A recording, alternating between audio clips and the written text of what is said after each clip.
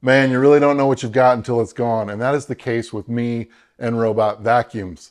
You know, when we left Silverhammer Tower back in August and moved into Voltage Studio, you know, at Silverhammer Tower, I had all these Roborock vacuums, one on each story. And then we moved into this place, which was one story. I thought, I'm going to get a clean slate here, a fresh start. I'm going to get a new robot vacuum. And I was thinking, which one do I get? And I was looking at that Dyson. Dyson is promising one. It's available everywhere else except the United States. And I was waiting for it to come to the US. But then Ecovacs announced the Deebot X2 Omni. And I was thinking, oh man, I've had one of those before. That looks pretty cool. And yeah, they got me. So I pre-ordered one and today we're going to talk all about it. Thank goodness for Teresa. Now I can shut up about not having a robot vacuum. Let's get into it.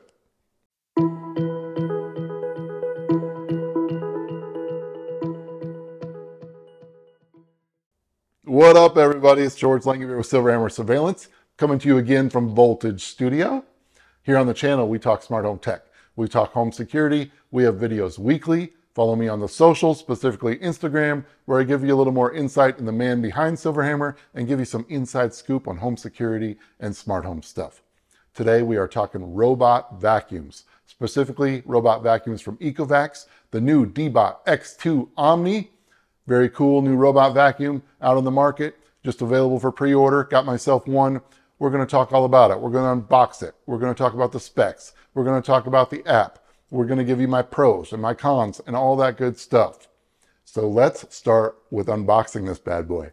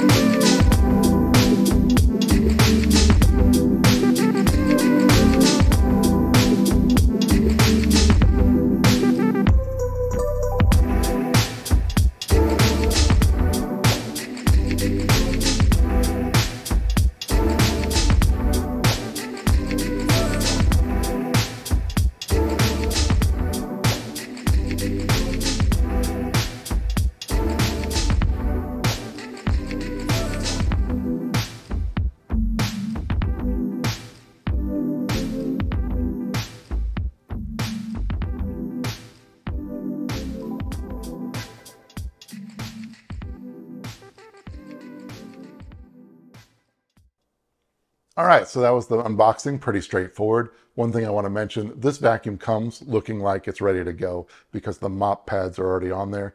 If you're like me and you just had so many robot vacuums and you just breeze through the instructions, just keep in mind that little helicopter brush that comes with it, you gotta put that on. So yeah, it looks like it comes ready to go, but it's not. You just gotta put that brush on. Quick note there. All right, let's move on to the setup. Okay, setup is pretty straightforward. Get yourself the Ecovacs app if you don't have it already, sign up for an account. If you haven't already, take the lid off the vacuum, turn the vacuum on, press the pairing button, then you scan the QR code on the vacuum, add it to your Wi-Fi, and just follow the app instructions. It's very straightforward, takes about five minutes. Okay, now that it's set up, we're gonna talk about the app. But before we do that, I wanna talk about some specs. All right, the Ecovacs Deebot X2 Omni is $1,499.99. Check in the affiliate link in the description below if you're interested in purchasing. That price is in line with other high-end robot vacuums like the Roborock. Now, this has got a new square design. You know, a lot of robot vacuums are circular. I've used several from Roomba to the old Dyson to several Roborocks. So this is a new square design, which is cool. Super thin, 32 centimeters in diameter and 9.5 centimeters tall. So that helps with going under couches and under beds and stuff like that. Because of the new design with a built-in edge detection, they claim 99.77% cleaning coverage per unit area. So because it goes edge to edge, you know, it really helps with getting every nook and cranny of your cleaning area. Industry leading 8000 PA suction power, and that's one of the most important specs because this sucker's got some suction power. Intelligent mop lifting using ultrasonic sound lifting for both carpet and previously cleaned areas. Now that's the same with like Roborock's and stuff, but this one's a little more advanced, I can tell you that much. The all-in-one Omni Station, which is the docking station, several features on that bad boy. You've got auto clean with hot water mop, auto empty, auto drying, and auto self-maintenance.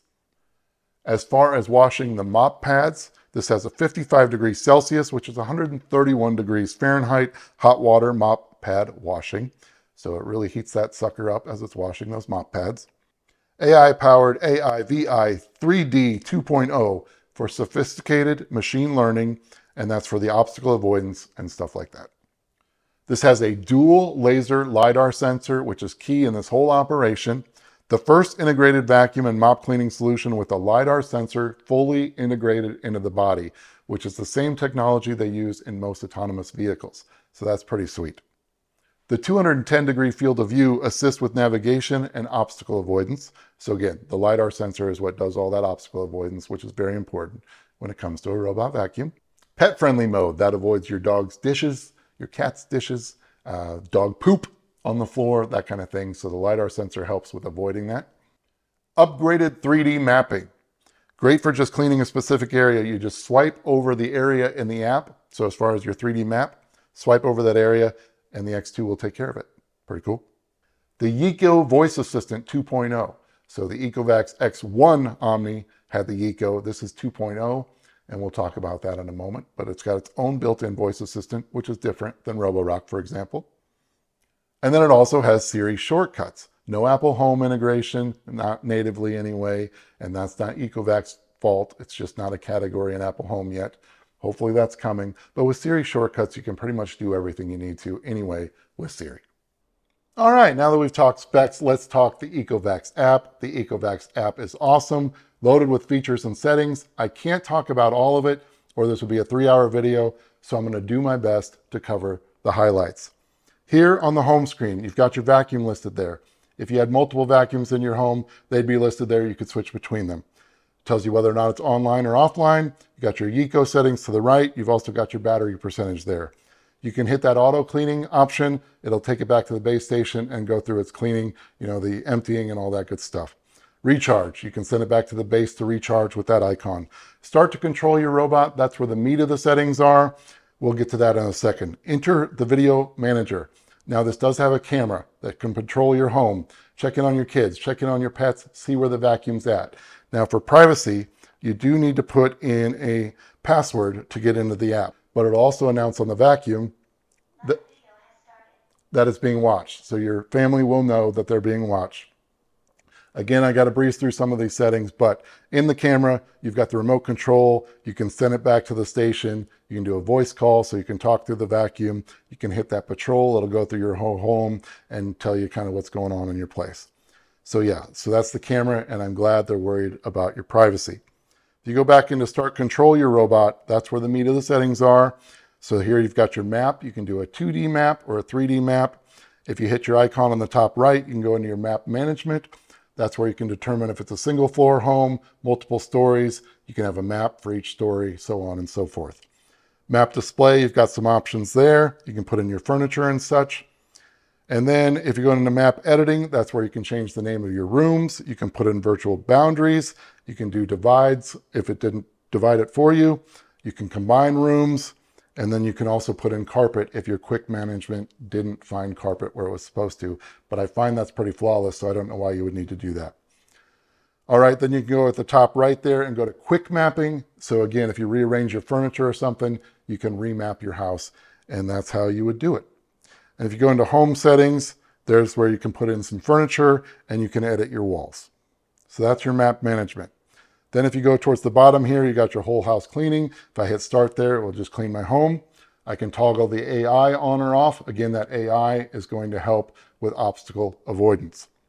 Then you've got your cleaning preferences, vacuum only, mopping only, or vacuuming and mopping. Your vacuum power. Now that's a very important one because this 8000 PA it doesn't work very well if you got to turn way down. So if you got bigger debris that you want to take care of, you're going to want to up that suction or on your carpets or whatever. So keep control of that vacuum power because it is important. Sometimes if it's too low and you've got something on the floor that's a, some decent debris, it'll just drag it around all over the place and make a bigger mess. So vacuum power is important. Water flow level, you can control that there. You've got number of times, one or two. Deep scrubbing, You've got the schedule. So I've got mine Monday, Wednesday, Friday from 9 to 10.30. Takes about an hour and a half for it to clean this place. Smart cleaning, you can do things like do not disturb. So if you want to override that schedule, that's where that is. Station settings, that's where you've got the mop pads, cleaning interval, the hot air drying time, etc. If you go into a log, it'll show you every time it's cleaned. It'll give you some stats about that. You can go into the video log. It'll tell you every time the camera's been used. And then if you go to the bottom to more settings, you've got a synopsis of your log. You've got accessories and parts for your replacement parts. That's how you can get in there. There's also a store tab that you can do that. Customized scenario cleaning. So this is like if you just want to say, hey, clean up after the meal, it'll do that. So instead of whole house cleaning, you can create custom scenarios. Daily cleaning, that's where you can control that. And then if you go back, you've got your YIKO settings. Again, that's the voice assistant. You can change the language. You can turn it off if you want. You can have the YIKO remind you to restock your accessories. In the robot settings, you can update your firmware, change your time zone, manage your Wi-Fi if you change routers. You've got the name of your robot if you want to change the name. Product improvement programs, kind of like a beta program type thing. It's off by default, but you can get in there if you want. Serial number, MAC address, AI model version, and you can find your robot if it's lost or missing in action. Video Manager, that's where you can change the password of the camera. And then help is general information. And then lab features, that's an important one because I think some people will breeze over this. It does have strategic particulate removal. When enabled, Deebot will strategically clean up coarse dirt particles to prevent them from being knocked away by the spinning side brush. I think that one's important or you'll just get stuff all over the place. You can also let it know that you have a pet in the house. It's one thing that I'm not testing, and I'm sorry about that. I just don't have pets. All right, then you can share the robot with your family members, or you can delete the robot from the app. But that's pretty much it. Again, there's so much more to this that I just can't get into. This would be way too long. But the app is fantastic and endless possibilities there. And I find it to be very intuitive. And even though there's a lot, it's very easy to use. All right, let's move on to my pros and cons after using the robot. Okay, real quick before we move on to the pros and cons, I do want to mention again, I apologize. I don't have pets, so I couldn't test it that way. I know that's very important with a robot vacuum, so I apologize. But I could have recreated something, but it's just not the same, so I didn't even bother. But I have been using this for a while, and so here we go. Pros, the LiDAR, the obstacle avoidance, and the navigation and everything. This blows away anything that I've used before. Now, I've had several Roborocks, four different models of Roborocks. I've had the old Dyson robot. I've had Roombas, several models of the Roombas. And I also had the Ecovacs X1 Omni. So I'm comparing it to that. The LiDAR here is amazing. And it's so cool that it's built into the body like an autonomous vehicle. I think that's awesome that they bring up that comparison because that's how sophisticated it is. So the LiDAR is great. Obstacle avoidance is great. Did great on the stools. If I put something down, it went around it. That was great. Much better than the last one even. So that's cool. Love the design for maneuverability. The square design, I find it to be much better than the circle. Also the fact that it's a little smaller. Again, for stools and stuff, it just was breezing in and out like it was nothing. The edge, the edge detection is great and how it goes, so it like goes under a cabinet, comes back out. So the design of it is great. I just find that the square fits better in different nooks and crannies. Improved obstacle avoidance, again, that goes back to the LiDAR, and so I can't cover that any more than I already have, but it's improved a lot, especially with stools. I noticed that in particular. The old Deebot and, and my Roborock was a mess sometimes on these very same stools. So I'm comparing it to the same furniture, and it worked much better with this one. Suction power is amazing, but remember to adjust it. If you don't adjust it, you're going to notice some debris on the floor that it didn't do squat with, or that it'll just kind of move all over the place and spill all over the place. Teresa and I experienced that. But if you up that suction power and use that 8000 PA, then, then it's good to go. Now, you're probably going to want to have a handheld vacuum of some sort for other messes. I'm just going to tell you that. I still have my Dysons here to come in and swoop in and save the day if we need to. But uh, this is pretty damn good if you up that suction power. The app, the app is insane. I was just scratching the surface and I didn't mean to rush through that, but this would literally take three hours if I went through that app step by step. So the app is fantastic. One thing I didn't mention as far as the app goes is there's a Me tab. And in that Me tab is where you go in to get the step-by-step -step instructions for Siri shortcuts, which could be very important. And with Siri shortcuts, you can start, you can stop, you can pause, and you're supposed to be able to say, hey, Siri, do whatever room. But I find that that one's not working very well for me. But the starting and the stopping and the pausing works flawlessly. So keep in mind, you can go in there for the Siri shortcuts. And then also with Yiko, Yiko is a very cool assistant to have on your vacuum. Very intuitive. It's a little more conversational than the last one, which is cool. You know, I, I prefer Siri, but this does more as far as the specific vacuum goes. And the fact that it can remind you to order accessories and stuff like that. Very cool. Um, Siri shortcuts, again, we already covered that, so I'm not going to mention it, but it's awesome that it has it. And someday we're going to get Robot vacuums, native and HomeKit. I just know it's going to happen someday. Maybe with Matter next round, who knows? But please, bring it on. The mapping system is very easy to use. The way you can go in and put in your rooms and your dividers and merge rooms and furniture and all that. Very similar to Roborock in that way, but I do find it to be very easy to use and I think it'd be good for any level of tech expertise. Better mopping system than the Roborock. Now I definitely like this mopping system better, the way it switches from the carpet to the floor and just it just it's just better all the way around. All right, moving on to cons. I wish the water bin, the clean water bin was bigger because you have to fill that every so often. And so it's pretty small. I think it's a little smaller than the X1. Um, definitely smaller than the last Roborock I had. So I wish that was bigger. But anyway, that's a small problem. Um, they gave that up for space saving as far as the size of the actual base station and everything. And I'd prefer that in a small place like this so that we have space to put this robot vacuum in here. So that's a small complaint. It did drag some debris for large messes, and I'm talking really large messes. Um, but again, when I upped that suction power, it took care of it much better. But um, in that lower middle range, it dragged some debris around and actually made it worse than it was. But that's where you got to control that suction power. The Siri shortcuts are great. It's great at starting, it's great at stopping, great at pausing. But one con is that I did have some problem, and I don't know if it's just something I'm doing, but I can't get it to do a specific room. When I do, I get an error message. So that kind of sucks because I like that feature because really you don't need Apple HomeKit with Siri shortcuts with these robot vacuums, but it does need to be working properly. So I need to reach out to Ecovacs to see if it's just something I'm doing, but everything else works great, starting, stopping, pausing just not specific groups. Another con would be the mapping names. So the mapping itself is great, but I don't like the mapping names. They give you very limited options. So I can't call my studio a studio. It's got to be a study. You know, you can't call it George's bathroom or Teresa's bathroom. It's just got to be bathroom one or bathroom two. And again, these are nitpicky things, but I do find their particular names that they picked are very limited. So I wish we had more options as far as actually naming rooms and I wish we had a custom naming option. I'm sure that's a limitation because of the YIKO Assistant, but anyway, I wish we had more control over the naming of rooms. Lastly, the magnetic cover that fits over the vacuum. I find that comes off a little too easily. It's not a huge deal, but if you get the right obstacle, it'll take it right off of there. If you pick up the vacuum for whatever reason, it could slide off. So I wish that was on there better. But anyway, that's a nitpicky thing.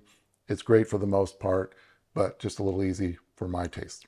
Okay, that's it in a nutshell. Overall, this is the best robot vacuum I've used. Again, I've used Roombas, the old Dyson, the previous Ecovacs, four different models of Roborocks. This is the best I've used, and most of it's because of that LiDAR. This is the most advanced LiDAR that I've experienced with a robot vacuum as far as obstacle avoidance and navigation. And obviously those are very important when it comes to robot vacuums. But yeah, this is the best. So good job, Ecovacs. I'm glad I did this one. The Dyson, I would have held off for it, but I didn't like that it didn't have a mop. And we've got the combination of wood floors and carpet here, so the mop was important to me. So I'm glad that this announcement came just in the nick of time before I spent $2,300 on that Dyson or whatever ridiculous price tag they're going to have on that one. So I was happy the $14.99.99 on this one. I'll take that. I did buy this with my own money. Again, the affiliate link is in the description below. But let me know what you think. What's your favorite robot vacuum? Let me know in the comments. So many options out there. I'd love to hear your thoughts. That's it. There we go. All right. Smash that like button. Subscribe to the channel. For all our current subscribers, you know I love you. Your love and support, especially through my cancer journey, has meant the world for me. You know that. For anybody new here, welcome to the party. We're just getting started. I'm not going anywhere. I'm feeling great, thriving, loving life. So yeah, this party's just getting started. So until the next video, peace and love.